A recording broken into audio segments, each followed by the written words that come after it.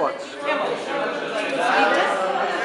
Olá Iola, parabéns por ter ganho o Second Chance. Esperava ganhar o Second Chance. Não, honestamente não esperava. Fiquei muito feliz e como viram, com uma lágrimazinha no olho. Paramos a uma distância grande do segundo lugar. É verdade, é verdade. Ainda por cima ser uma, eh, essa, essa, essa pontuação ser tão, tão grande, eu eh, fiquei muito feliz mesmo, por todos os motivos e mais alguns. O que é que o festival mudou na sua vida? Ai, mudou muita coisa.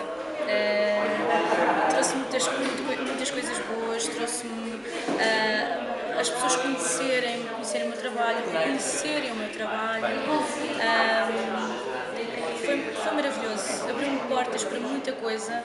Os estrangeiros, eh, quando me abordam no Café Luz, conhecem o festival, porque lá fora vem o, vem o Festival da Canção, ao contrário do que as pessoas imaginam, eles lá fora gostam. Uh, sabemos que esteve há pouco tempo no, em Moscovo. Quer falar um bocadinho dessa experiência em Moscovo?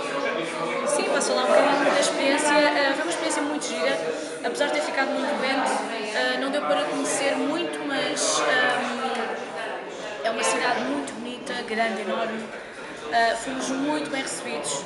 Nós fomos fazer um, um pequeno apo- apontamento de o que é o Café Luso em Moscou. Ehm, e então eh, os, eh, os russos adoraram, muito bem recebidos. Ao contrário do que falam que os russos são pessoas frias, não fomos pessoas extremamente calorosas, foram amorosos e os russos são apaixonados por fado. Uh, projetos para o futuro, discográficos, espetáculos. Tenho grandes surpresas mesmo, é que eu ainda não posso revelar. Muito obrigado, Iola. Muito obrigada.